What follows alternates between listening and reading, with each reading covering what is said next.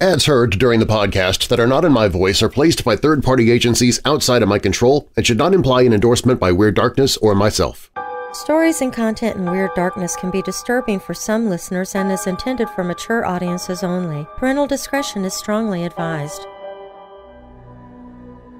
On November 15, 1959, what became one of the most famous murders in American crime history occurred in Holcomb, Kansas, when four members of the Herbert Clutter family were brutally murdered in their home. The story of the savage crime achieved literary immortality when it was written by author Truman Capote in what remains his greatest work, In Cold Blood. The book not only chronicled the horrible murders, but shaped Capote's literary career in such a way that he gained lasting fame and was forever haunted by the story. I'm Darren Marlar, and this is Weird Darkness.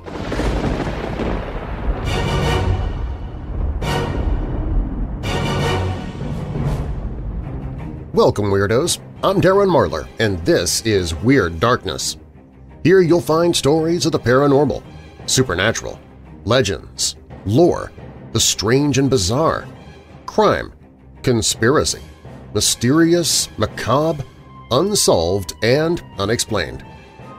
Coming up in this episode, a high school biohacker in France claims he created a DNA sequence out of passages from the Bible and the Koran, and then he injected it into his own veins. A family discovers it might not be a good idea to purchase a home once owned by a child molester. One town legend from 1577 says a giant hellhound killed two people who were kneeling in prayer after knocking down the church doors amid a flash of lightning. We'll learn about the Black Shuck. In a remote part of northern Tanzania in Africa, there is a mysterious lake. The water is so caustic that it can burn the skin and eyes of unprepared creatures, and it can turn flesh into stone we'll look at the story behind Truman Capote's best-selling novel In Cold Blood and how it not only terrorized the townspeople in 1959, but it haunted Capote himself for the rest of his life. In the story of Jack and the Beanstalk, the giant threatens to eat Jack by killing him and grinding his bones into bread. But it's not just fairy tales that have human bone bread, it's a reality in the kitchens of some people. On December 26, 1900, something strange and unexplained happened on the largest of the Flannan Islands, Eilean Mor, Scotland. Three lighthouse keepers disappeared into the night, never to be seen again. Their mysterious disappearances still baffle historians and scientists today. According to legend, one small town in Iowa suffered a very strange fate – no one knows when the town of Urkhammer was established, and nobody knows where it has gone. And when a poltergeist finds its voice and starts to talk, you know the haunting you are living through has taken a turn for the worse. If you're new here, welcome to the show, and if you're already a member of this weirdo family, please take a moment and invite someone else to listen with you. Recommending Weird Darkness to others helps make it possible for me to keep doing the show. And while you're listening, be sure to check out WeirdDarkness.com where you can find the show on Facebook and Twitter, and you can also join the Weird Darkness Weirdos Facebook group.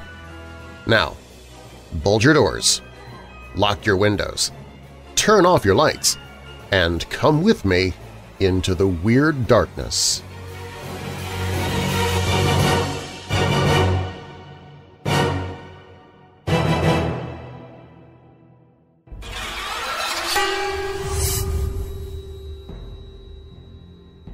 Truman Capote published his book In Cold Blood in 1966, and it detailed the 1959 murders of Herbert Clutter, a successful farmer from Holcomb, Kansas, his wife, and two of their four children. When Capote learned of this quadruple murder before the killers were captured, he decided to travel to Kansas and write about the crime. He was accompanied by his childhood friend and fellow author Harper Lee, and together they interviewed local residents and investigators assigned to the case and took thousands of pages of notes. The killers, Richard Dick Hickok and Perry Smith, were arrested some six weeks after the murders, and Capote ultimately spent six years working on the book. The book, one of the first non-fiction novels ever written, became the greatest crime seller at the time and is almost universally acknowledged as one of the best books of its type ever written. Herbert Clutter was a devout Methodist and a widely respected self-made man who had established a successful and very prosperous farm from modest beginnings. Morally strict and conservative, he employed as many as 18 farmhands, and former employees reportedly admired and respected him for his fair treatment and good wages. His four children, three girls and a boy, were also widely respected in the community.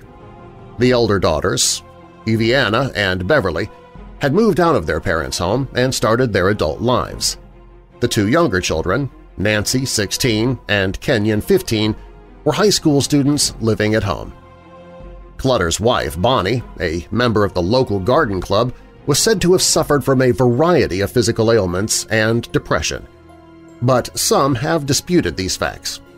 Regardless, they seemed to be a relatively happy family and completely unaware that death was coming for them. The murders of the Clutters were committed by two ex-convicts on parole from the Kansas State Penitentiary, Richard Dick Hickok and Perry Edward Smith, on November 15, 1959. One of their former fellow prison mates was Floyd Wells, who had worked as a farmhand for Mr. Clutter. Wells told Hickok about a safe at the farmhouse where Herb Clutter kept large amounts of cash. Hickok soon hatched the idea to commit the robbery, leave no witnesses, and start a new life in Mexico with the cash. According to Capote, Hickok described his plan as a cinch, the perfect score. Hickok later contacted Smith his former cellmate, about committing the robbery with him. The information from Wells proved to be false, since Herb Clutter did not keep cash on hand, had no safe, and did all his business by check to keep better track of transactions. After driving across the state of Kansas on November 14, 1959, Hickok and Smith located the Clutter home and entered while the family slept. As they roused the family and discovered that there was no money to be found, Smith, notoriously unstable and prone to violent acts in fits of rage, slit Herb Clutter's throat and then shot him in the head. Kenyon, then Nancy, and then Bonnie were murdered, each by a single shotgun blast to the head. Smith claimed in his oral confession that Hickok murdered the two women. When asked to sign his confession, however, Smith refused, According to Capote, he wanted to accept responsibility for all four killings because, he said, he was sorry for Dick's mother.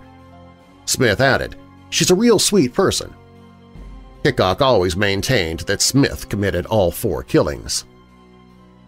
On the basis of a tip from Wells, who contacted the prison warden after hearing of the murders, Hickok and Smith were identified as suspects and arrested in Las Vegas on December 30, 1959. They pleaded temporary insanity at the trial, but local doctors evaluated the accused and pronounced them sane. After five years on death row, Smith and Hickok were executed by hanging just after midnight on April 4, 1965, in Lansing, Kansas, at the Kansas State Penitentiary. On November 16, 1959, the New York Times published an account of the murders, which began Holcomb, Kansas, November 15, UPI. A wealthy wheat farmer, his wife, and their two young children were found shot to death today in their home. They'd been killed by shotgun blasts at close range after being bound and gagged. There were no signs of a struggle, and nothing had been stolen. The telephone lines had been cut. The short 300-word article interested Capote enough for him to travel to Kansas to investigate the murders. Capote brought his childhood friend Harper Lee, who would later win the Pulitzer Prize for fiction for her novel To Kill a Mockingbird, to help gain the confidence of the locals. Capote did copious research for the book, ultimately compiling 8,000 pages of notes, and the criminals were found, tried, and convicted. Capote conducted personal interviews with both Smith and Hickok. Smith especially fascinated Capote. In the book, he's portrayed as the more sensitive and guilt-ridden of the two killers. The book was not completed until after Smith and Hickok were executed. Many believed that Capote held on to his manuscript until after the killers had been hanged so that they couldn't dispute anything he had written about them. Even so, both critics and witnesses alike all stated that much of the book was fabrication. Capote's defense was that it was a novel based on true facts. In the years after the book's publication, Capote was more sought after than ever. He wrote occasional brief articles for magazines, but mostly worked to entrench himself more deeply in the world of the jet set. Gore Vidal once observed, Truman Capote has tried with some success to get into a world that I have tried with some success to get out of. Capote never finished another novel after In Cold Blood. The dearth of new writing and other failures, including a rejected screenplay for Paramount's 1974 adaptation of The Great Gatsby, was counteracted by Capote's frequenting of the talk show circuit. In 1972, Capote accompanied the Rolling Stones on their 1972 American tour as a correspondent for Rolling Stone magazine. He ultimately refused to write the article, so the magazine recouped its interests by publishing, in April 1973, an interview of the author conducted by Andy Warhol. In the late 1970s, Capote was in and out of rehab clinics, and news of his various breakdowns frequently reached the public.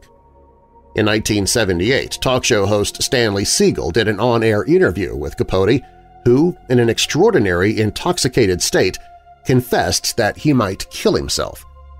With help from Andy Warhol, Capote underwent a facelift, lost weight, and experimented with hair transplants but despite this he was unable to overcome his reliance upon drugs and liquor. After the revocation of his driver's license and a hallucinatory seizure in 1980 that required hospitalization, Capote became fairly reclusive. These hallucinations continued unabated and medical scans eventually revealed that his brain mass had perceptibly shrunk. On the rare occasions when he was lucid, he was still able to write. In 1982, a new short story, One Christmas, appeared in the December issue of Ladies' Home Journal, and the following year it became, like its predecessors, A Christmas Memory and The Thanksgiving Visitor, a holiday gift book. In 1983, Remembering Tennessee, an essay in tribute to Tennessee Williams, who had died in February of that year, appeared in Playboy magazine. Capote died in Los Angeles on August 25, 1984, age 59, from liver cancer. According to the coroner's report, the cause of death was liver disease complicated by phlebitis and multiple drug intoxication. He died at the home of his old friend Joanne Carson, ex-wife of late-night TV host Johnny Carson, on whose program Capote had been a frequent guest. He was interred in the Westwood Village Memorial Park Cemetery in Los Angeles, leaving behind his longtime companion, author Jack Dunphy. After his death, fellow writer Gore Vidal described Capote's demise as a good career move. Up next, a high school biohacker in France claims he created a DNA sequence out of passages from the Bible and the Koran and then he injected it into his own veins. A family discovers it might not be a good idea to purchase a home once owned by a child predator. And one town legend from 1577 says a giant hellhound killed two people who were kneeling in prayer. These stories and more coming up. You know, I've often joked about how instead of an energy drink, I need a motivation drink. they just don't exist. Or so I thought. Until recently, I was approached by Magic Mind to consider promoting their product. but as you know, I never endorse anything unless I have tried it myself and I approve of it. Well, in this case, I wholeheartedly approve. After taking Magic Mind with my morning routine each day, along with my vitamins and coffee as always, in less than a week I was feeling more focused, more alert, and, surprisingly, more motivated. This is what I've been looking for for years. I have no idea how they accomplished that, I'm just glad they did. I'm spending more time on what's important. I'm getting more accomplished when doing so. My mood is better, making each day less stressful. I don't crash after four or five hours when it wears off because it doesn't wear off. It just builds up in my system to give me consistent focus, clearer thought, energy without being jittery, and, like I said, motivation. Magic Mind is doctors validated. It has over 200 scientific studies behind each of the ingredients like Cognizin citicoline, which are the best nootropics on the market, the highest possible grade matcha, organically grown mushrooms from California, and more. Magic Mind uses nano-encapsulation technology. It helps your body to absorb the good stuff that much faster and more efficiently, and they even give 5 cents from every bottle sold to help those who are homeless. So I gave them my stamp of approval. I even uh, signed up for a monthly subscription of 30 bottles before telling them I approved, because I just love what it's already doing for me. And now Magic Mind is giving you, my Weirdo family, a special deal. Up to 48% off of your first subscription or 20% off a one-time purchase if you use the code DARKNESS at checkout. Visit magicmind.com slash darkness and you can get started right now. That's magicmind.com slash darkness. And to check out, be sure to use the word darkness and you can get up to 48% off of your first subscription or 20% off your one-time purchase. This is only for a limited time, though, so please jump on it now while you can. Trust me, you will not regret it. I know I don't. I'm going to keep on taking it because I just do that much better with it. That's magicmind.com slash darkness and then use the code DARKNESS at checkout.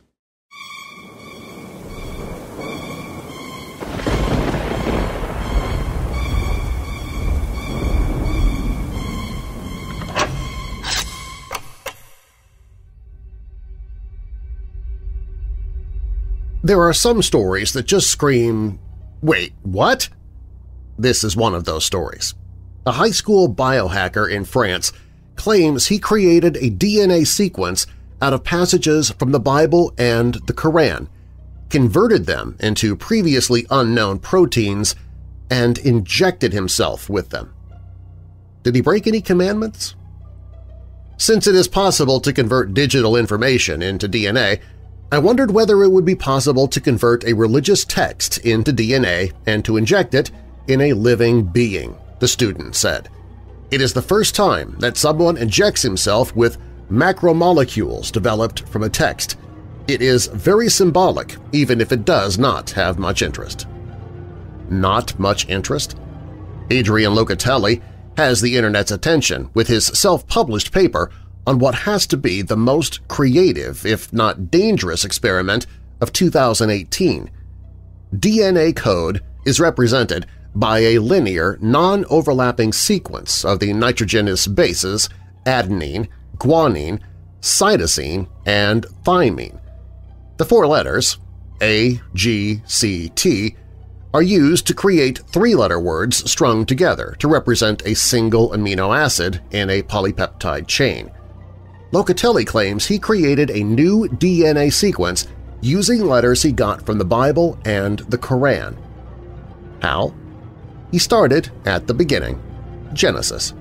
Locatelli claims he replaced every character in the Hebrew Book of Genesis with a word using the characters AGCT. There are 64 possible combinations. He says he left out Genesis chapter 2 verses 10 through 14 chapter 5 and chapter 7 verses 1 through 5 because they were controversial. Genesis 2 verses 10 through 14 mentions the unknown rivers Pishon and Gihon, Genesis 5's the family tree from Adam to Noah, and Genesis 7 verses 1 through 5 is the story of Noah building an ark. Locatelli then did the same thing with the Arabic letters from the 13th chapter from the Quran, the Surah Ar-Ra'd.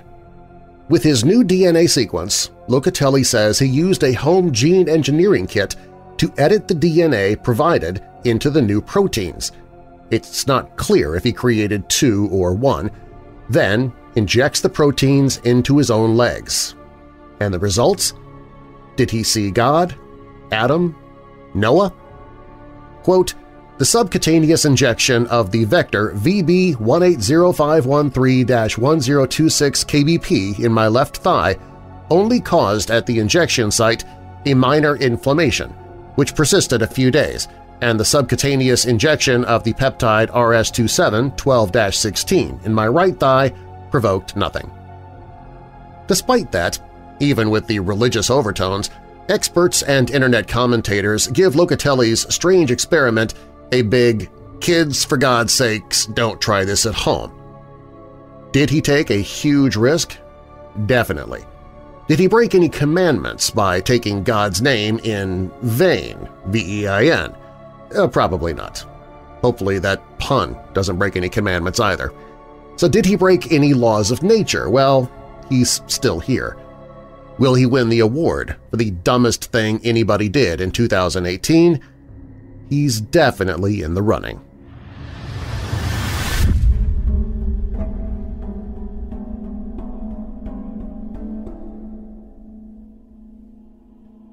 In 1986, my parents purchased and moved into a house. It was an older home and had been inhabited before. I've heard that during the 1970s it was owned by the boys' basketball coach from the local high school. Supposedly he was a child molester and was fired for making advances toward his team members. This is unsubstantiated, though. I was born in 1988. During my childhood, I experienced a variety of troubling phenomena and was very, well, troubled as a result. I constantly felt as if I was being watched, followed, and having my thoughts read. I also felt that something was listening to me while I spoke.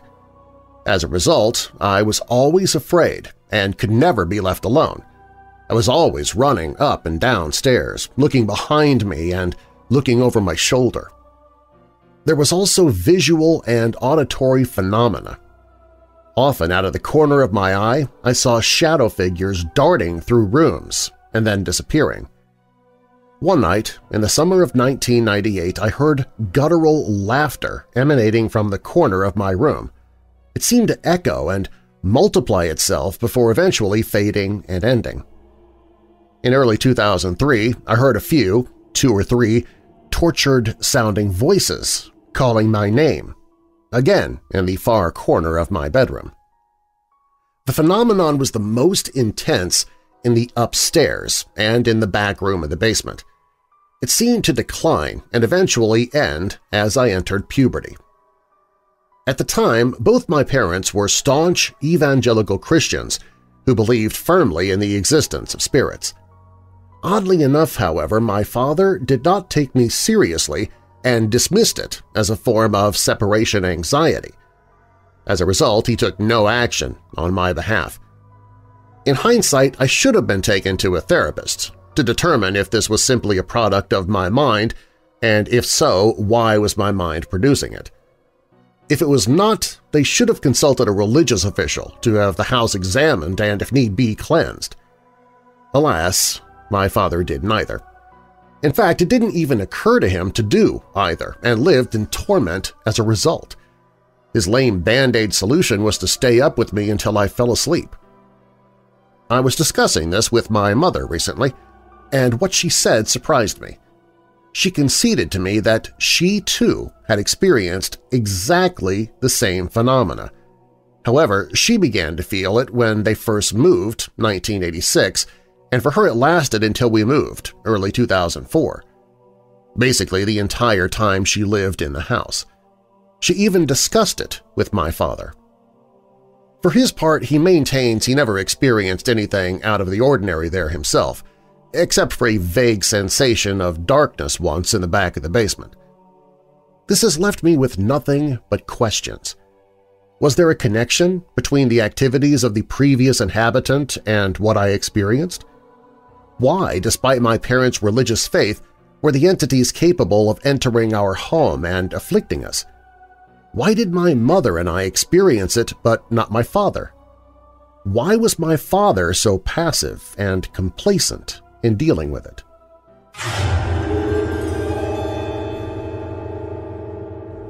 He takes the form of a huge black dog and prowls along dark lanes and lonesome field footpaths, where, although his howling makes the hearer's blood run cold, his footfalls make no sound. People in Bungay, England know all too well what the Black Shuck can do.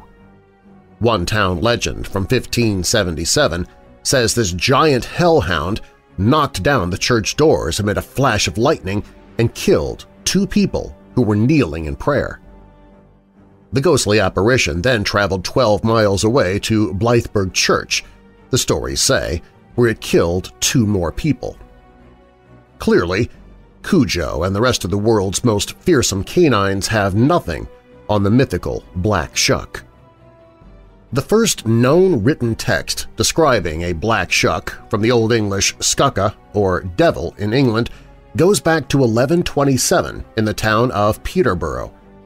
Immediately after the arrival of Abbot Henry of Poitou of the Abbey of Peterborough, there was quite a ruckus. It was the Sunday when they sang Exsurge Quare. Many men both saw and heard a great number of huntsmen hunting. The huntsmen were black, huge and hideous, and rode on black horses and on black he-goats, and their hounds were jet black with eyes like saucers and horrible. This was seen in the very deer park of the town of Peterborough and in all the woods that stretch from that same town to Stamford, and in the night the monks heard them sounding and winding their horns. Witnesses said that about 20 to 30 of these hellish beings stayed in the area through Lent all the way to Easter, a period of about 50 days. The events of 1127 are known as the Wild Hunt.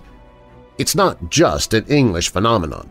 Stories from across Central, Western, and Northern Europe recount loud, wild hunts throughout untamed lands, and they help explain the mythological underpinnings of the Black Shuck. Northern cultures associated with wild hunts with the change of the seasons from fall into winter probably because strong, cold winds came blowing over the landscape and forced people indoors. Anyone who didn't make it inside during the winter could freeze to death. Interpreting howling winds as a pack of hunters would thus make sense. People were mythologizing their surroundings as a way to warn people to stay indoors. Winds aren't nearly as scary as a pack of rabid dogs on the hunt, but the outcome could be the same. If someone didn't flee from the Black Shuck, they could be killed. Particularly in England, when winds would come howling in from the sea, there were stories of black hellhounds in more than a dozen areas. These include Suffolk, Norfolk, East Anglia, Cambridge, Lancashire, Yorkshire, Staffordshire, Lincolnshire, and Leicestershire. Anyone who saw a black shuck described a large dog with black, mangy fur. These dogs would supposedly be larger than normal, with some even as big as a horse. They were foaming at the mouth as if deranged, rabid or ravenously focused on hunting for their next meal. According to one description published in 1901, it said, He takes the form of a huge black dog and prowls along dark lanes and lonesome field footpaths, where, although his howling makes the hearer's blood run cold, his footfalls make no sound. But such an encounter might bring you the worst of luck. It is even said that to meet him is to be warned that your death will occur before the end of the year, so you will do well to shut your eyes if you hear him howling. Shut them even if you are uncertain whether it is the dog fiend or the voice of the wind you hear. You may perhaps doubt his existence, and, like other learned folks, tell us that his story is nothing but the old Scandinavian myth of the Black Hound of Odin, brought to us by the Vikings. And in addition to that, perhaps the most distinctive characteristic of the black shuck was its eyes, red and big as saucers. Furthermore, these hellhounds were always said to appear suddenly and without warning, then disappear as quickly as they had arrived. And if you did catch a glimpse of one, it was believed to either be a protective spirit or a portent of death, a family guardian watching over everyone or warning of certain doom. No wonder people feared the Black Shuck. Of course, the Black Shuck was scary because of more than just its appearance. Stories of the creature in action reveal the true depths of its terror. In the most famous story of a Black Shuck appearance, Reverend Abraham Fleming of Bungay, modern-day Suffolk, wrote a terrifying account of a hellhound's attack on the church in 1577 in his essay A Strange and Terrible Wonder. This black dog, or the divil in such a lenacy, God he knoweth all who worketh all, running all along down the body of the church with great swiftness and incredible haste among the people in a visible form and shape, passed between two persons as they were kneeling upon their knees, and occupied in prayer as it seemed, wrung the necks of them both at one instant clean backward, in so much that even at a moment where they kneeled they strangely died. As for accounts of more recent Black Shuck sightings, one man in 1905 claimed that a black dog turned into a donkey and then vanished a few heartbeats later. One four-year-old girl during World War II encountered a large black dog that walked from her window around her bed made eye contact with those famous red eyes, and then vanished before reaching the door. She didn't sleep well that night. A 10-year-old boy wrote in 1974 about an encounter he had when he was six. He said he saw a black animal with yellow eyes galloping towards him at night.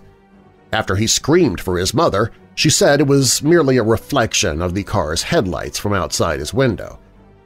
The boy read a story about a haunted council house and a black dog spirit, and he then became convinced that his original account of a giant black dog was, in fact, the truth.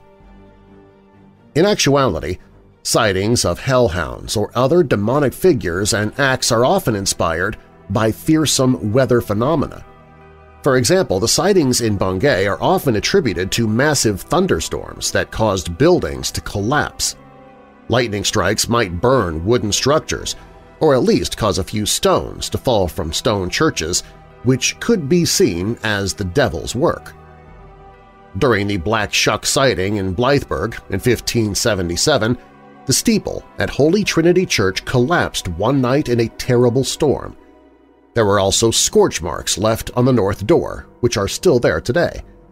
Rather than take the storm simply as a storm, some saw the destruction and resulting deaths of two people as the work of the devil.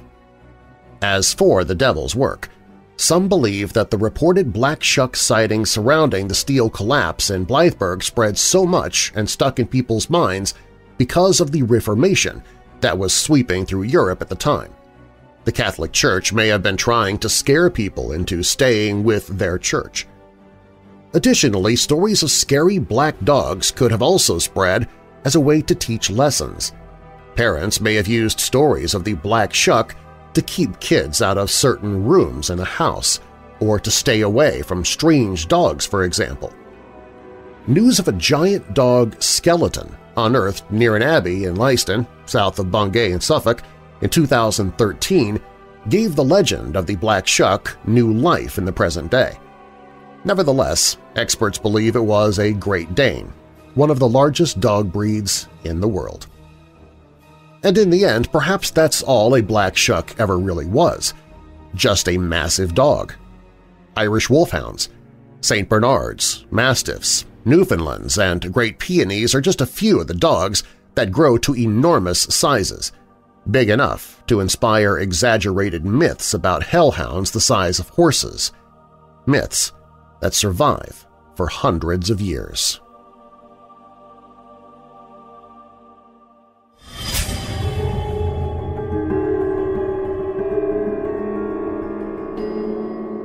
When Weird Darkness returns, in a remote part of northern Tanzania in Africa, there is a mysterious lake. The water is so caustic that it can burn the skin and eyes of unprepared creatures, and it can turn flesh into stone. That story is up next.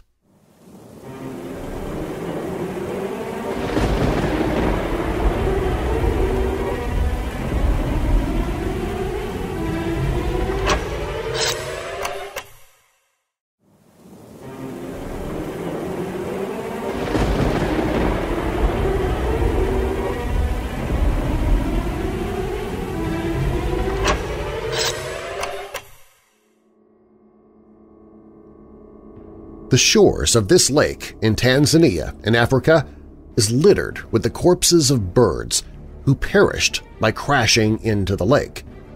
When the birds wash up onto the shore, their lifeless bodies appear to have been turned to stone. Welcome to Lake Natron. Lake Natron is a salt lake, meaning that it has no outlet for the water to exit the lake other than evaporation. It also has extremely high alkalinity. The nature of the lake comes from a chemical called natron, which is a mixture of sodium carbonate and baking soda. The substance enters the lake through material eroding from the surrounding hills. The natron content in the lake has given it a pH level of about 10.5, which is comparable to that of ammonia. The alkalinity of the lake is what gives the body of water its unusual properties. It can very easily chemically burn animals not adapted to the sodium carbonate-rich conditions. The waters can also reach temperatures as high as 140 degrees Fahrenheit. Despite this hostile environment, the lake is not lifeless. It appears to contain a stable ecosystem consisting of a population of flamingos at least one species of fish, and algae. These organisms may be descendants of animals who lived on the lake many years ago before its current chemical environment arose. They may represent the only survivors who were able to successfully adapt as the lake acquired its unique hostile characteristics. The shores of this lake are covered with thousands of intact, petrified bird corpses that have washed ashore. The birds appear to have been preserved almost perfectly, feathers and all. They are so lifelike that a photographer who explored the lake in 2011, Nick Brandt, started putting the birds in lifelike poses and taking pictures of them. It's not entirely clear how the birds die. One theory that has been suggested by Brandt is that as the birds fly over the mirror-like surface of the chemically saturated lake, they become confused and think they are flying over empty space. This could lead them to accidentally crash into the lake. This is similar to the reason that birds tend to fly into glass doors and car windows. The birds also do not petrify instantly on contact with the water. This is made clear by the population of flamingos, let alone the fish that live in contact with the lake without being petrified. The petrification does however appear to happen very quickly. Lake Natron is remarkably interesting to scientists because organisms do thrive in this extremely hostile environment. There are, however, concerns about the lake's preservation. Currently, there is no legislation to protect the lake and its unique ecology. There are also proposals to build a hydroelectric power plant on the main source river for the lake, this could impact the survival of the local flamingo population. Lake Natron is an eerie place because it is a lake where animals appear to turn to stone. Is it possible that places like Lake Natron could be part of the basis for petrification legends around the world? In many cultures, there are legends of people and animals being turned to stone, often from contact with an accursed thing, or as a form of punishment. A famous Greek example is Medusa, a creature whose appearance was so hideous that all who looked upon her turned to stone. In a later medieval legend, it is said that Saint Hilda of Whitby was empowered by God to turn a horde of snakes threatening her to stone. They coiled up and their heads fell off. It's said that the miraculously petrified corpses of the snakes can still be found on the shores of Whitby. A nearby monastery was also built in honor of the legendary event. What is interesting about this story is that the stones Whitby locals believed for centuries to be the corpses of the snakes are, in reality, ammonite fossils. Ammonites were shelled organisms that lived in Cretaceous oceans. The legend appears to have been at least partially inspired by ancient people discovering an ammonite fossil and not knowing how to identify it. If it was well preserved enough so that it still resembled an actual animal, believing that it had been a living creature unfortunate enough to be magically petrified would be a logical guess to someone with pre-scientific worldviews. This possibility is reinforced by the fact that other ammonite-rich beaches besides Whitby, such as those in Somerset, England, also have their own versions of the legend, where snakes are turned to stone. If legends of animals and people being turned to stone can be inspired by the discovery of fossils, it does not seem unlikely then that similar legends could also arise from ancient travelers encountering alkaline bodies of water that produce petrified corpses. In discovering a graveyard that turns birds and other animals to stone, we may have also stumbled upon the real lair of Medusa.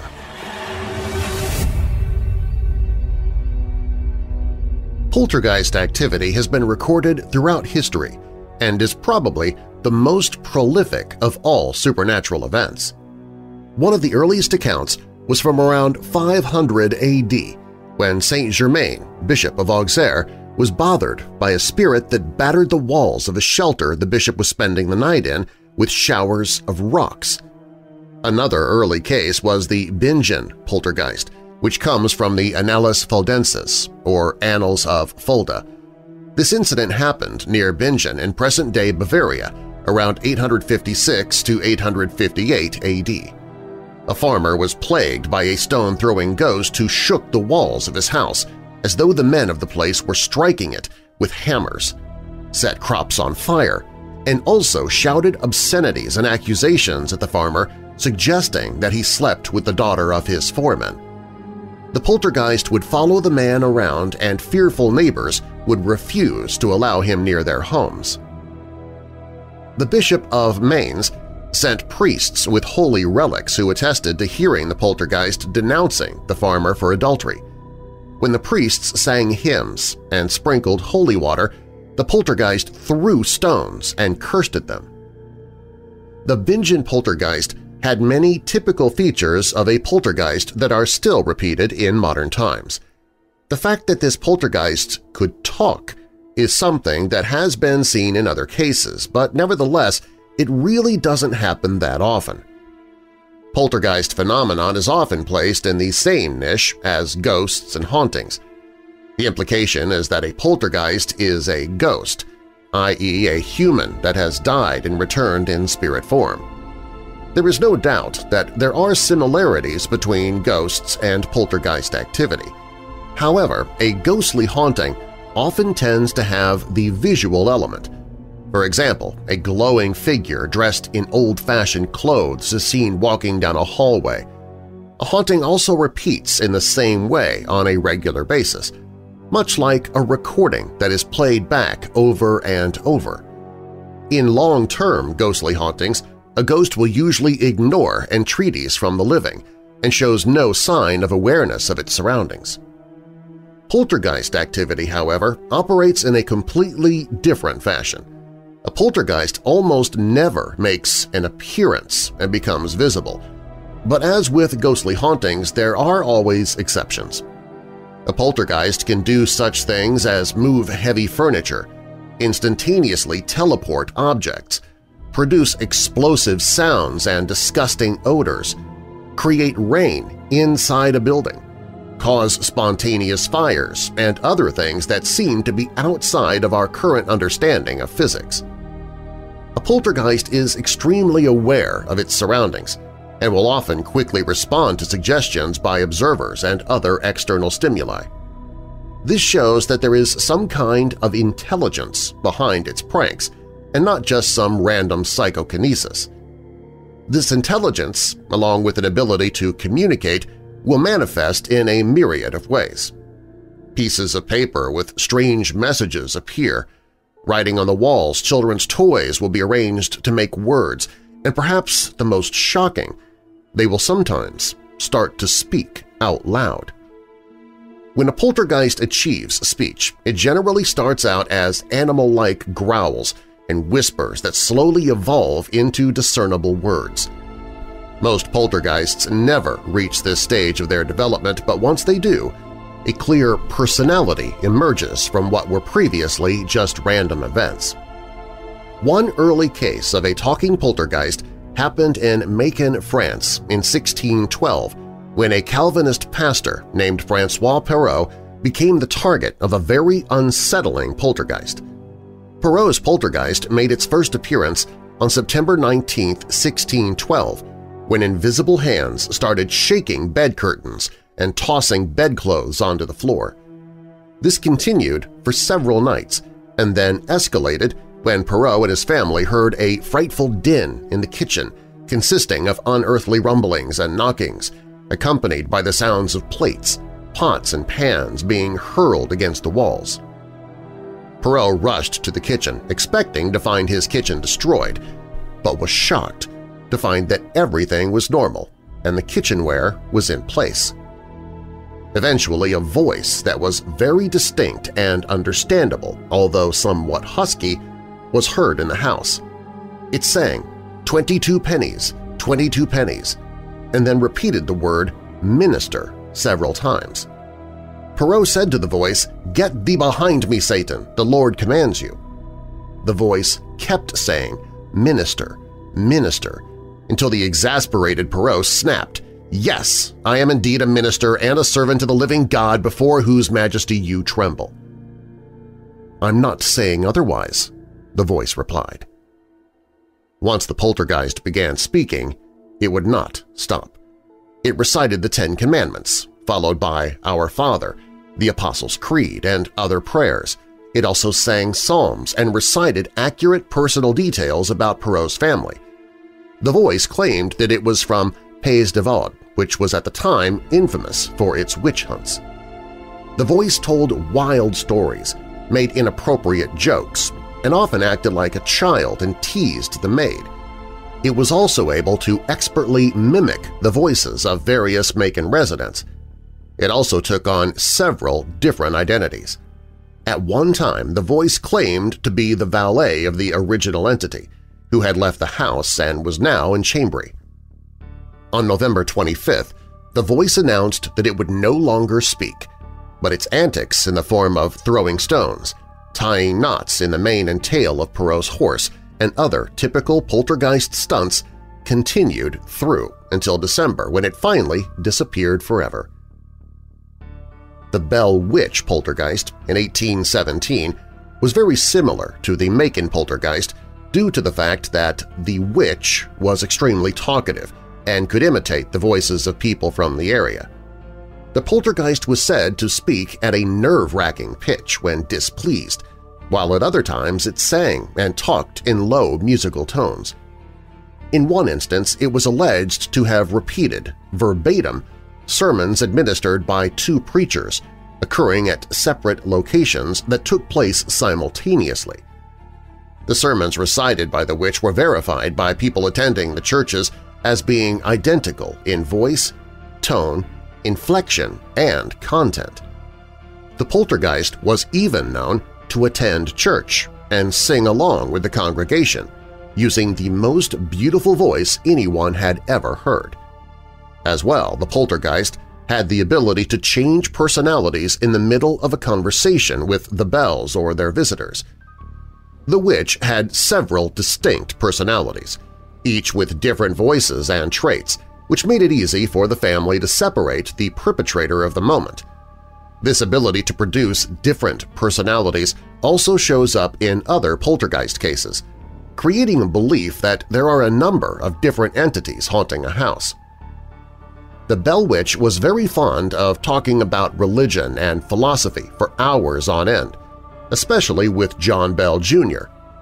The witch had developed a respect for John Bell Jr. due to his tendency to stand up to its abusive behavior.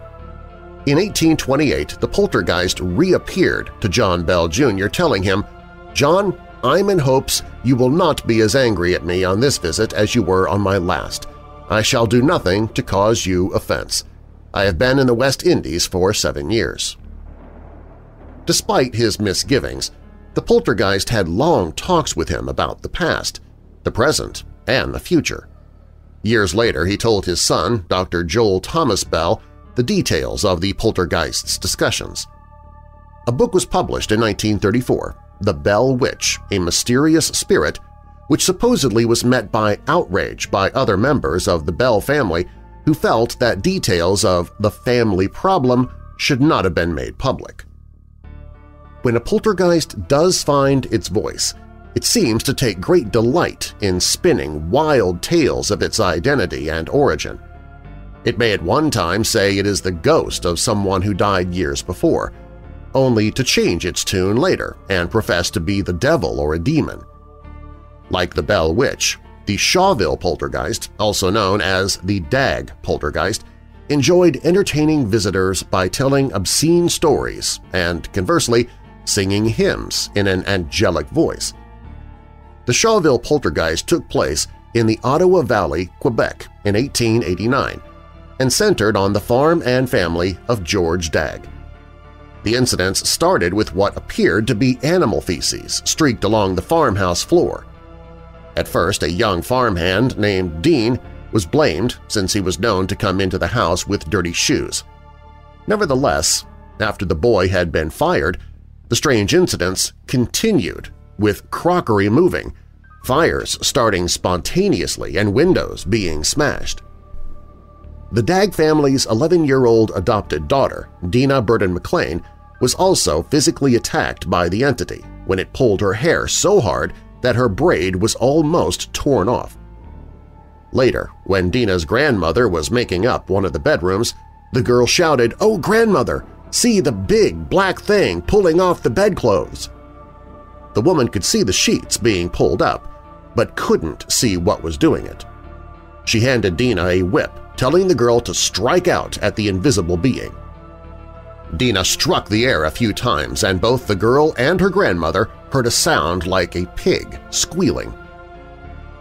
A few days later, a piece of paper bearing the message, You gave me 15 cuts, was found nailed to the wall.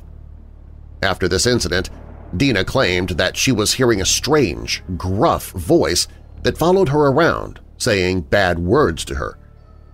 Soon the entire family and others could hear the gruff man's voice who identified itself as the devil.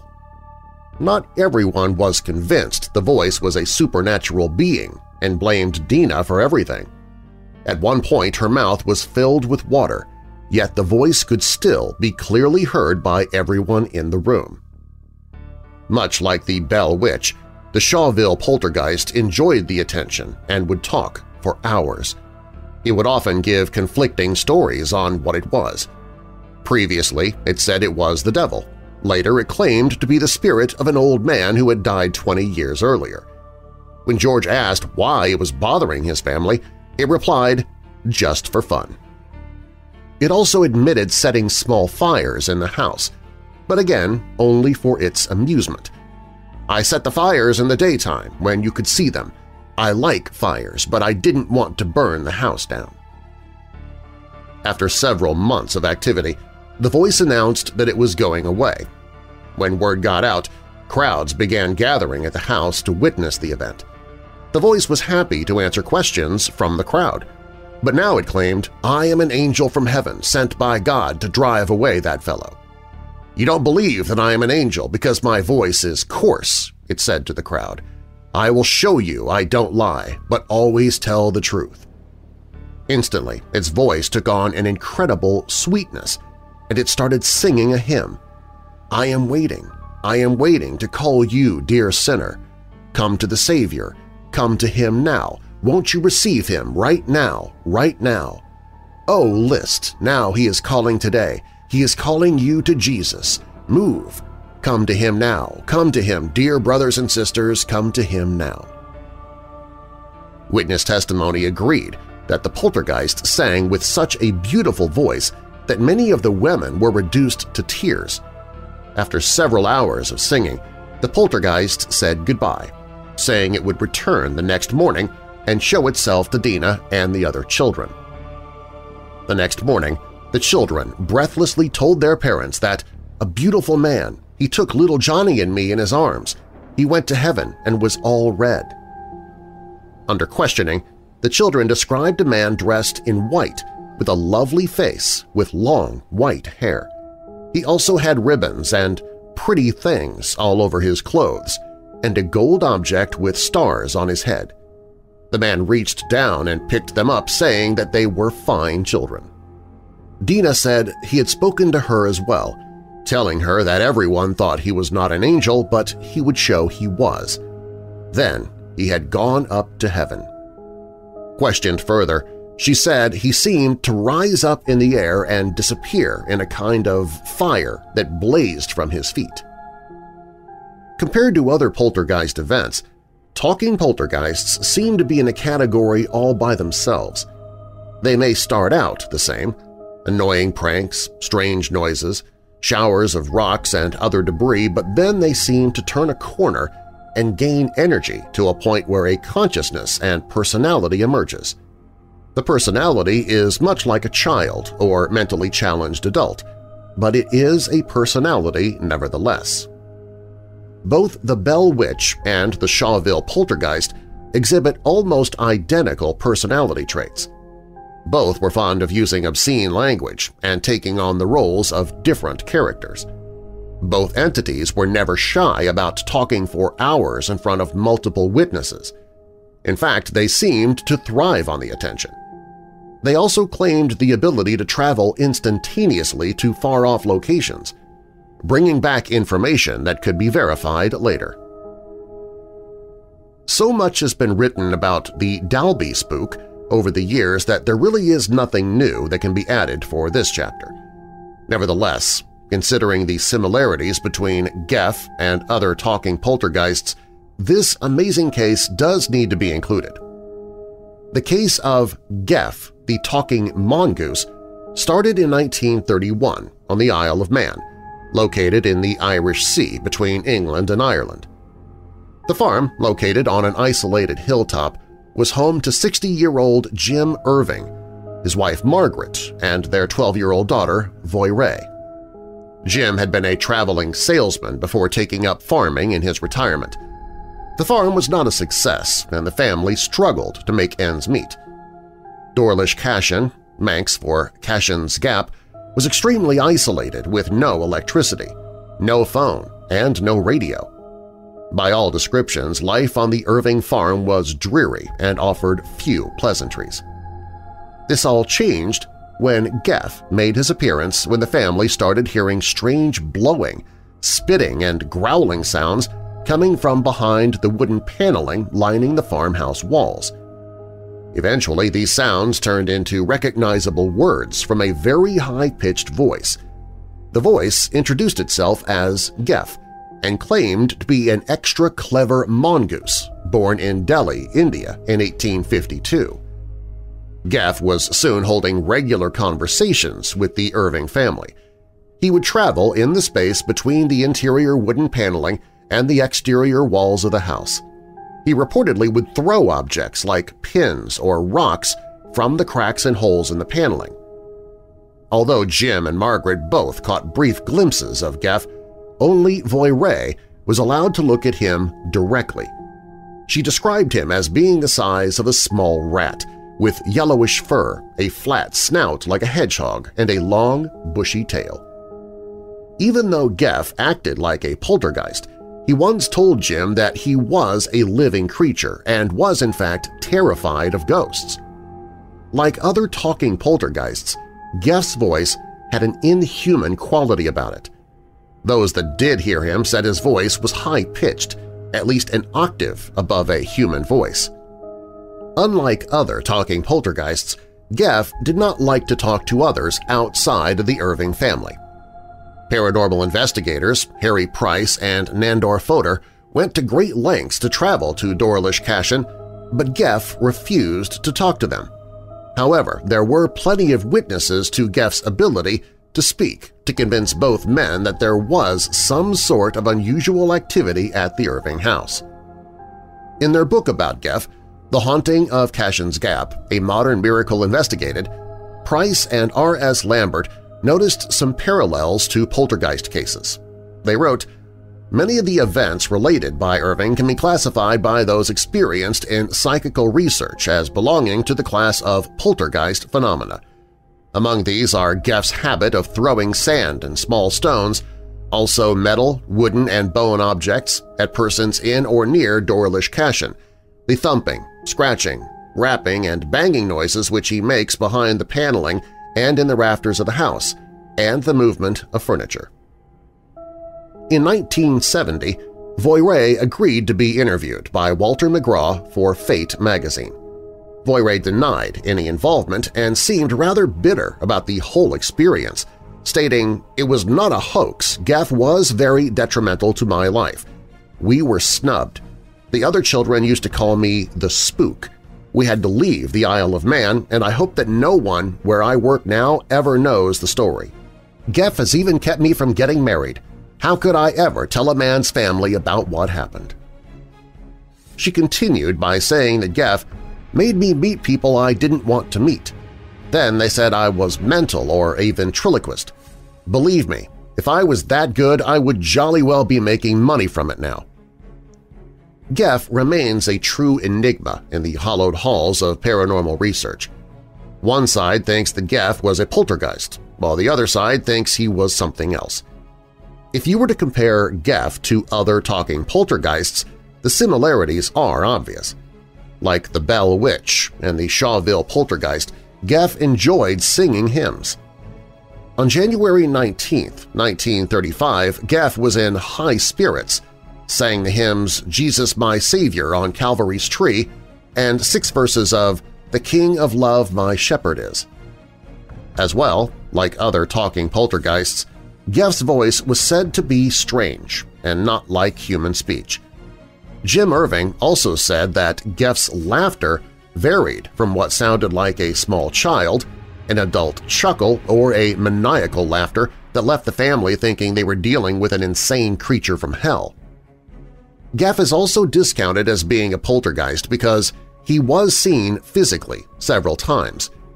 However, a talking poltergeist is often able to make itself visible, but much like the way it can talk in different voices, it can also appear in different forms.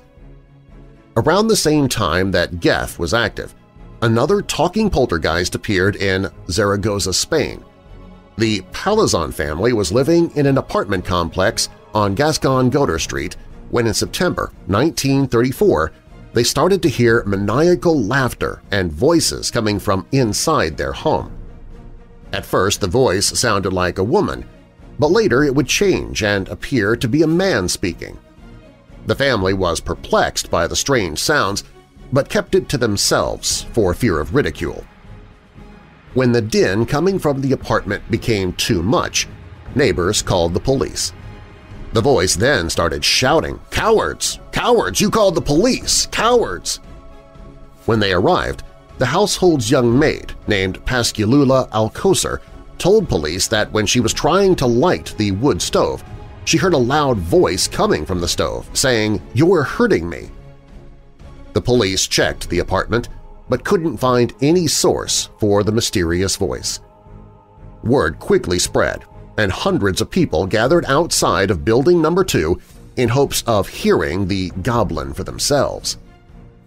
Local police and judges personally investigated the home, forcing the family to move out as they shut off electricity and phone service as they tore the place apart.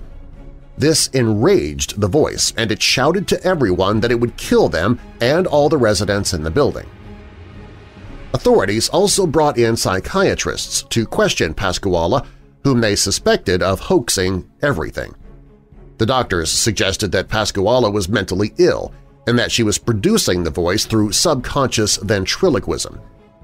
At one point, they sent the maid on a vacation along with the family, yet the voice continued to speak.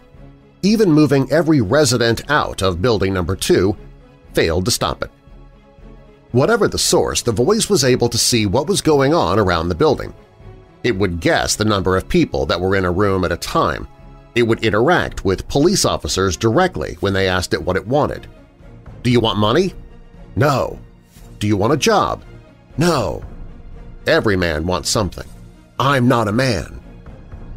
One of the original builders was brought in to take measurements of the kitchen, but the voice interrupted, saying, Don't worry, it measures 75 centimeters. The mason was so scared he left the building never to come back, leaving his tools behind in a closet. Eventually, the voice vanished just as mysteriously as it had arrived.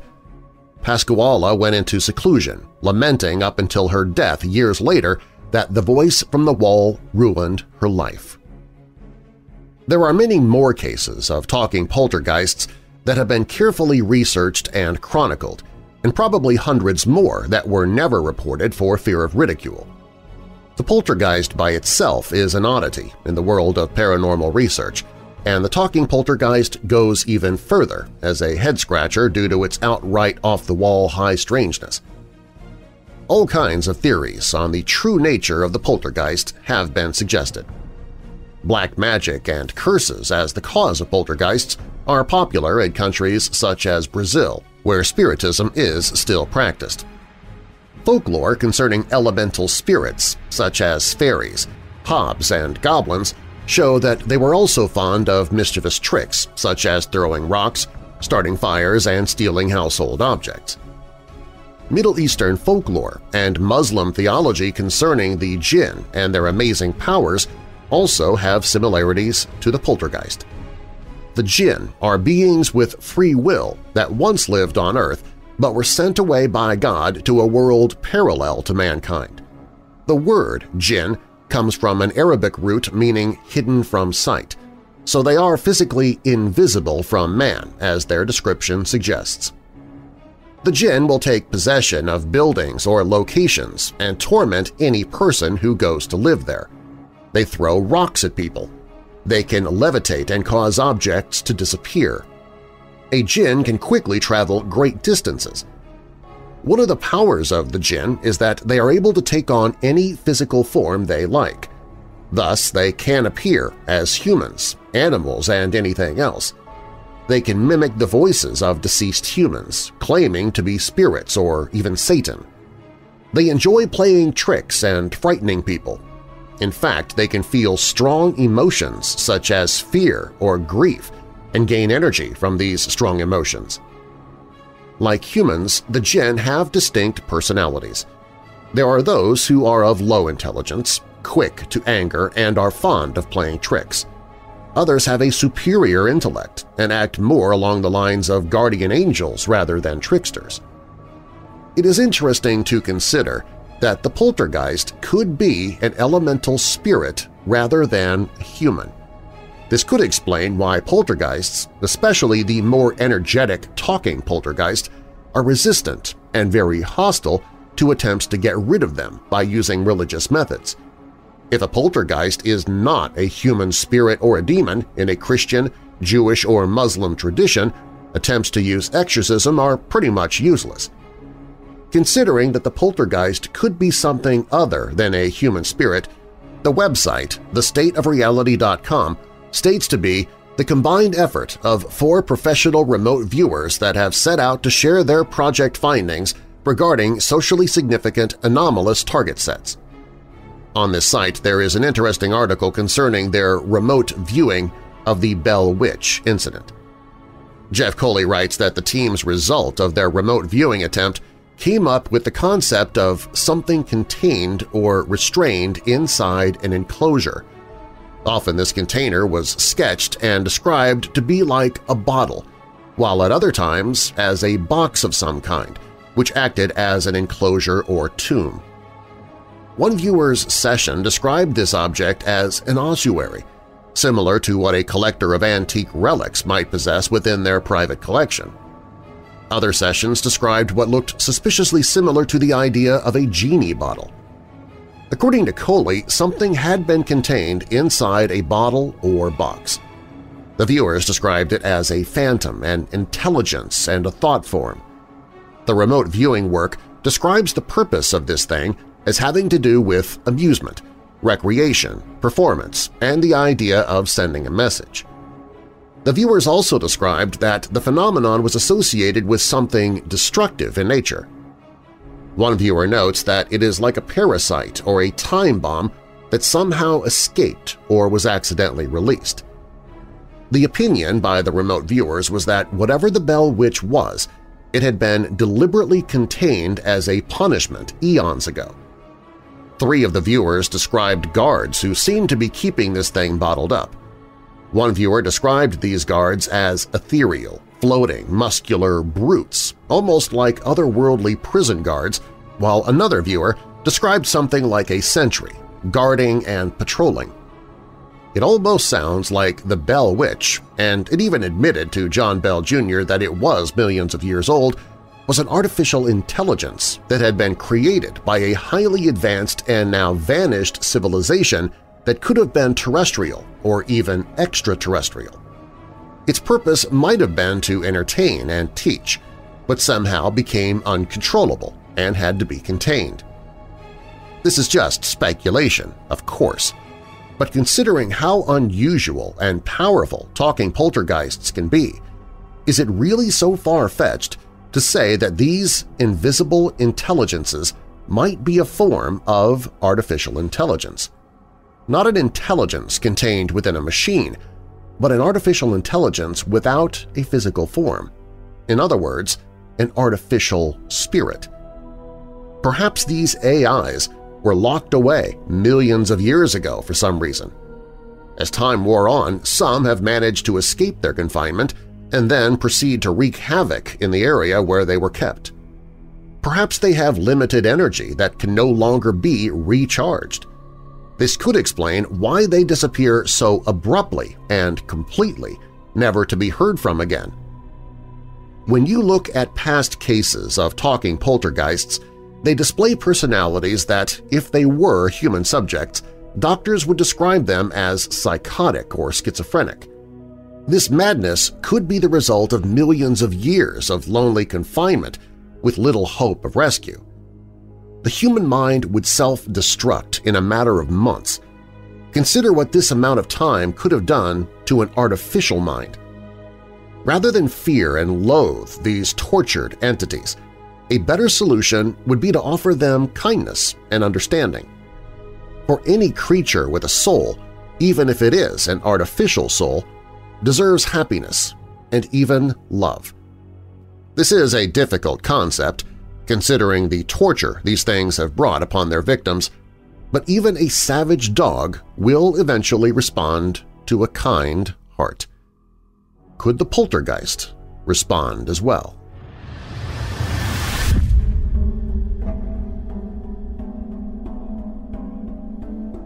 Up next, in the story of Jack and the Beanstalk, the giant threatens to eat Jack by killing him and grinding his bones into bread.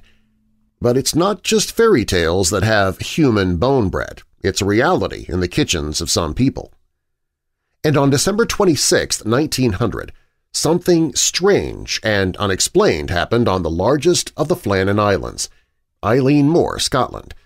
Three lighthouse keepers disappeared into the night, never to be seen again. Their mysterious disappearance still baffles historians and scientists even today. These stories and more when Weird Darkness returns.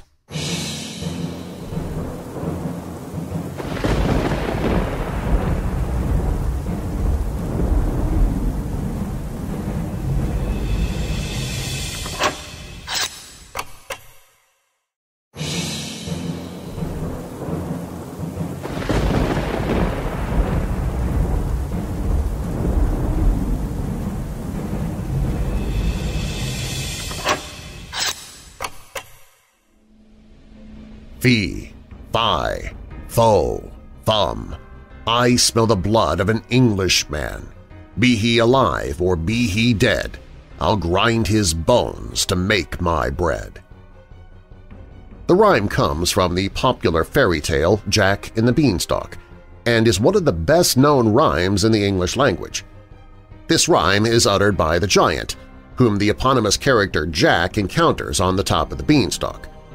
The idea of grinding human bones to make bread may be reasonably assumed to belong to the realm of fantasy. Nevertheless, instances of human bones being ground and reused, including for the making of bread, have been recorded in history. The story of Jack and the Beanstalk is one of the best-known children's fairy tales in the English language. The tale first appeared in print in 1734 during the reign of George II of England and is slightly different from the children-friendly version that we are familiar with today. One of the characters in the tale is the giant, who threatens to grind his bones to make my bread when he detects the boy's presence in his castle. With this line, the giant is effectively cast as a man-eating monster. The giant's threats would naturally send shivers down the spine of any child hearing the tale for the first time, though one may take comfort in the knowledge that man-eating giants are fictional. Well, certainly they do not exist in the world today, at least.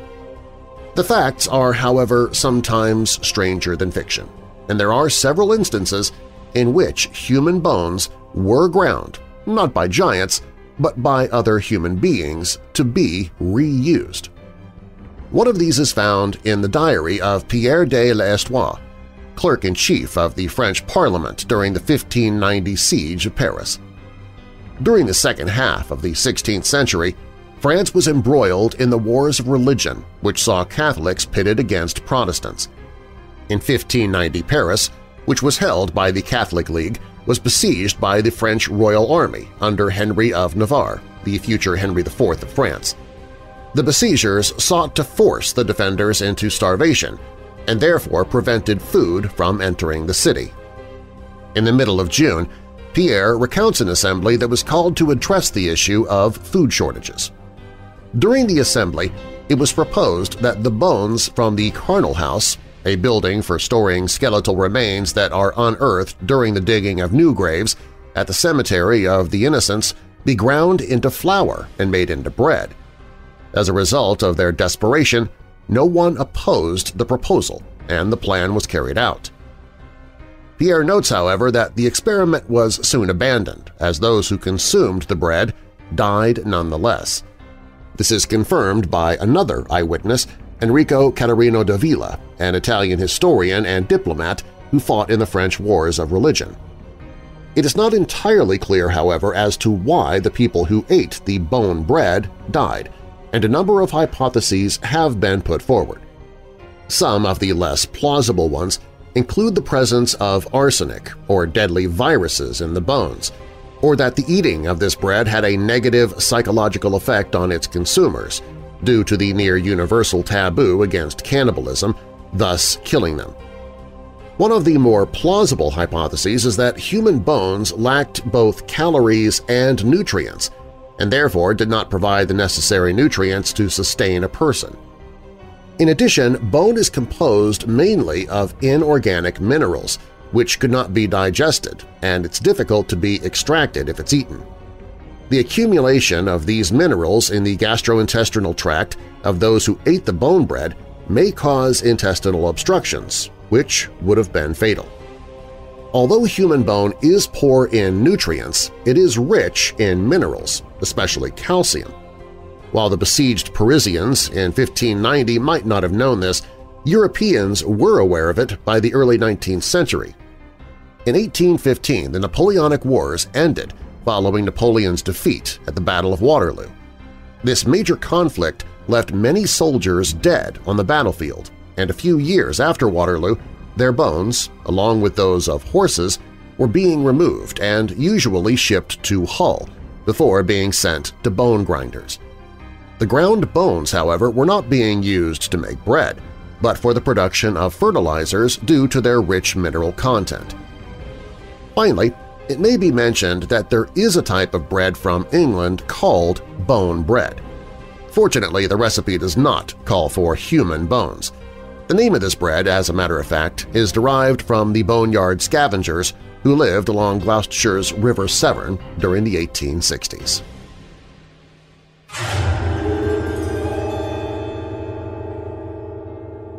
On December 26, 1900, something strange and unexplained happened on the largest of Flannan Islands, Eilean Mor, Scotland. Three lighthouse keepers disappeared into the night, never to be seen again. Their mysterious disappearance still baffles historians and scientists. The three lighthouse keepers, Captain Thomas Marshall, James Ducat, and Donald MacArthur, vanished on the island without a trace, leaving only speculation behind. A small ship was sent to the Flannan Islands in the remote Outer Hebrides. Its destination was the lighthouse at Eilean Mor, named after St. Flannan, a 6th-century Irish bishop who later became a saint the island was completely uninhabited, apart from its lighthouse keepers. The ship carried supplies and a change of crew, but due to the storm this was delayed. When the ship arrived at Eilean Mor, there was no sign of the three lighthouse keepers. Captain James Harvey, who was in charge of the supply ship, blew his horn and sent up a warning flare to attract attention. But there was no response. Under normal circumstances, someone should have been waiting at the front of the lighthouse to welcome the ship. It all seemed very strange. The interior of the lighthouse was as it should be, with oil in the lamps waiting to be lit and ashes in the grate. The only thing which appeared out of the ordinary was the two sets of missing oilskins, the outdoor gear the keepers donned. Only one set remained, belonging to Donald MacArthur, Obviously, he had gone outside in a ferocious storm in just his clothes. This was not only unheard of but also illegal. One of the rules of the Northern Lighthouse Board was that one man always must remain inside the lighthouse. So, why did he leave the lighthouse? Captain James Harvey quickly sent back a telegram to the mainland, which in turn was forwarded to the Northwest Lighthouse Board headquarters in Edinburgh. The telegraph read, A dreadful accident has happened at Flannan's. The three keepers, Ducat, Marshall, and the Occasional, have disappeared from the island. On our arrival there this afternoon, no sign of life was to be seen on the island. Fired a rocket, but as no response was made, managed to land Moore, who went up to the station but found no keepers there. The clocks were stopped, and other signs indicated that the accident must have happened about a week ago. Poor fellows, they must have been blown over the cliffs or drowned trying to secure a crane or something like that. Night coming on. We cannot wait to make something as to their fate. I have left Moore, MacDonald, Buoymaster, and two seamen on the island to keep the light burning until you make other arrangements. Will not return to Oban until I hear from you. I have repeated this wire to Muirhead in case you are not at home. I will remain at the telegraph office tonight until it closes if you wish to wire me. A few days later, Robert Muirhead, the board's superintendent, who both recruited and knew all three men personally, departed for the island to investigate the disappearances himself. His investigation of the lighthouse found nothing over and above what Moore had already reported. That is, except for the lighthouse's log. Muirhead quickly noticed that the last few days of entries were unusual. On the 12th of December, Thomas Marshall, the second assistant, wrote of severe winds, the likes of which I have never seen before in 20 years. He also noticed that James Ducat, the principal keeper, had been very quiet and that the third assistant, William MacArthur, had been crying. What is strange about the final remark was that William MacArthur was a seasoned mariner and was known on the Scottish mainland as a tough brawler. Why would he be crying about a storm? Log entries on the 13th of December stated that the storm was still raging and that all three men had been praying. But why would three experienced lighthouse keepers, safely situated on a brand-new lighthouse that was 150 feet above sea level, be praying for a storm to stop? They should have been perfectly safe. Even more peculiar is that there were no reported storms in the area on the 12th, 13th, and 14th of December. In fact, the weather was reported as calm, and the storms that were to batter the island didn't hit until December 17th, four days after the log entries. The final log entry was made on the 15th of December. It simply read, Storm ended, sea calm, God is over all. What was meant by God is over all? Investigators concluded that two of the men must have been outside during the storm and were swept away by the waves. Donald MacArthur then ran out to their rescue but was also swept away. But even the official investigation was mere speculation, as no proof to the story has ever appeared and the explanation left some people in the Northern Lighthouse Board unconvinced. Many are still wondering why none of the bodies washed ashore. It is simply as if all three men walked off the island never to be seen again. Over the following decades, subsequent lighthouse keepers at Eilean Mor have reported strange voices in the wind, calling out the names of the three dead men. Several speculations have emerged, but the fact remains – the mysterious disappearance of the three lighthouse keepers remains unsolved.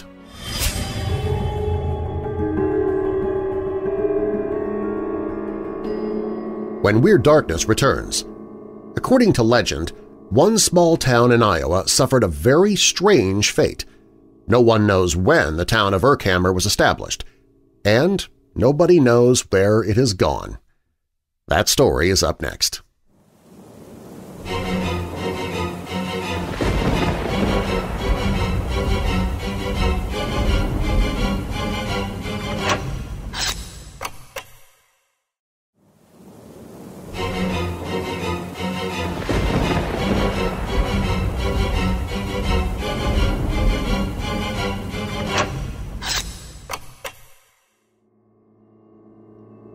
The geographically central states of the United States of America have seen their share of small towns.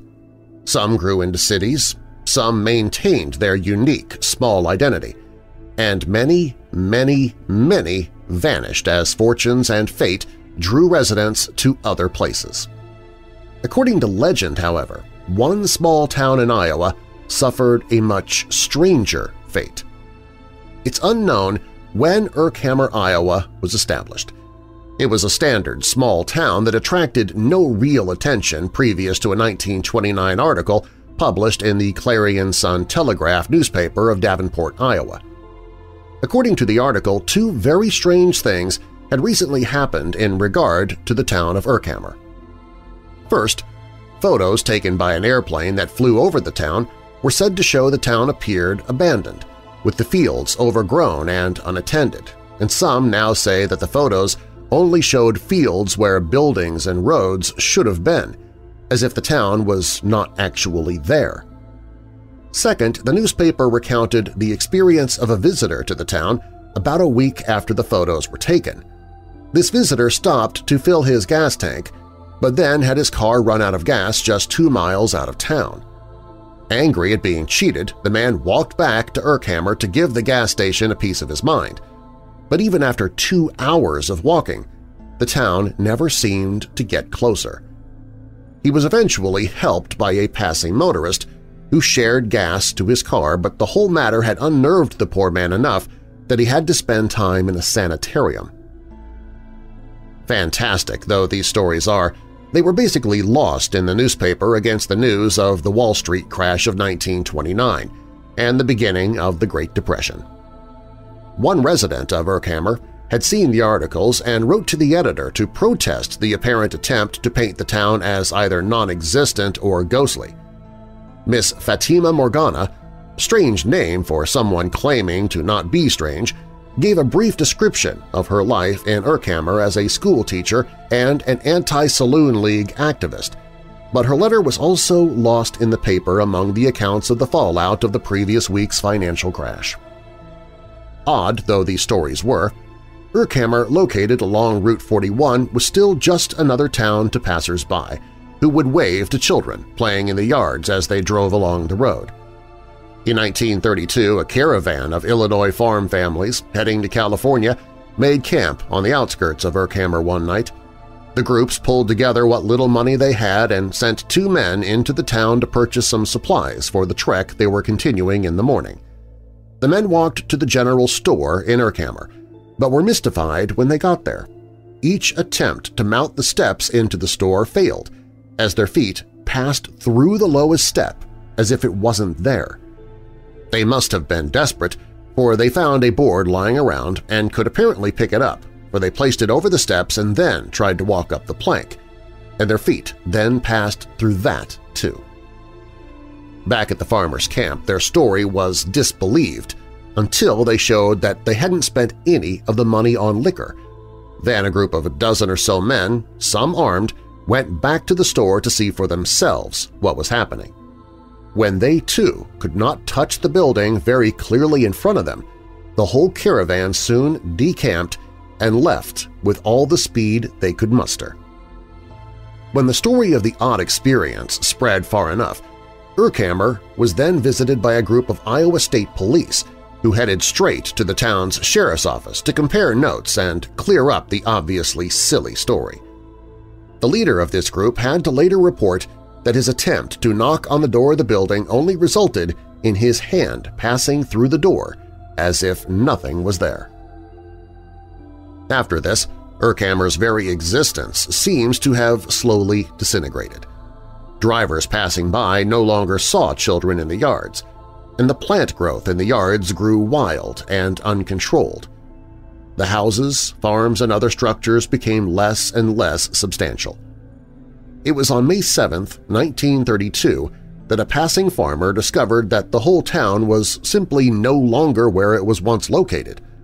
All that occupied the area the town once stood in were abandoned fields, long rotted fences, and one cast-iron bathtub once used to water livestock which now sat alone in a field of weeds. It's been said that some years after these strange events, the site that was once Urkhammer was briefly occupied by a camp of traveling gypsies, but this group packed up and left almost as soon as they had camped. The leader of this group later told a councilman at a nearby town that the site was, quote, saturated with the tears of the dispossessed and with the despair of those who had never borne names, unquote. So where did Urkhammer go? The answer to this question is surprisingly simple. Nowhere. Urkhammer, you see, never existed. The first mention of Urkhammer was in 2015 when it was related in a post in Cullen Hudson's Strange State website. According to Hudson, the story had been found by his mother while she was cleaning out old emails. She was checking them as she went along for anything that might be of interest to her son, who has an interest in oddities. Neither Hudson nor his mother knew where the short story had originated, but Hudson was pretty sure it was fictional and supposed that his mother could have written it and forgotten about it later. So the main take from this, in the first presentation of the story, the presenter states he believes the story is fictional, but this particular detail was left out of later retellings of the story, most notably on YouTube in 2017 and most recently on the Mysterious Universe website. An internet search for the town of Urkhammer, Iowa turns up only references to the story, and all of them dated for after the 2015 posting of the account to the Strange State website. As a further detail, for those of you still not convinced, the newspaper mentioned in the account the Davenport Clarion Sun Telegraph, which was mentioned in the original Strange State posting of the Urkhammer story, never existed. So all evidence point to this tale being a pure internet legend, introduced by a website and repeated in a shorter form by other websites interested in a good story more than facts.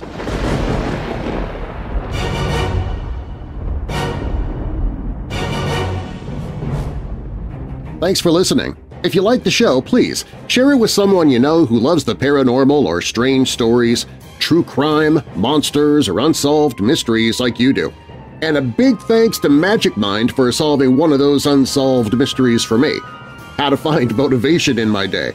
Visit magicmind.com slash darkness and use the code DARKNESS to get up to 48% off your first subscription of Magic Mind, or 20% off a one-time purchase. That's magicmind.com slash darkness and then use the promo code DARKNESS. All stories used in the show are purported to be true unless stated otherwise, and you can find links to the authors, stories, and sources I used in the episode description, as well as on the website at WeirdDarkness.com. In Cold Blood, The Clutter Murders was written by Troy Taylor. God's DNA was written by Paul Seaburn. Childhood Tormentors is by Illuminati 322. Black Shuck is by William DeLong. Medusa Lake was written by Caleb Strom. I'll Grind His Bones to Make My Bread is by DHWTY for Ancient Origins. Disappearance at the Eilean Mor Lighthouse was written by A. Sutherland for Ancient Pages. Where is Urkhammer is by Garth Haslam for AnomalyInfo.com. And When the Poltergeist Finds Its Voice was written by Tim R. Swartz for Spectral Vision. Weird Darkness is a registered trademark. Copyright Weird Darkness. And now that we're coming out of the dark, I'll leave you with a little light. Proverbs 29 verse 25 Fear of man will prove to be a snare, but whoever trusts in the Lord is kept safe. And a final thought. Work as though you would live forever, and live as though you would die today. Go another mile. Og Mandino. I'm Darren Marlar. Thanks for joining me in the Weird Darkness.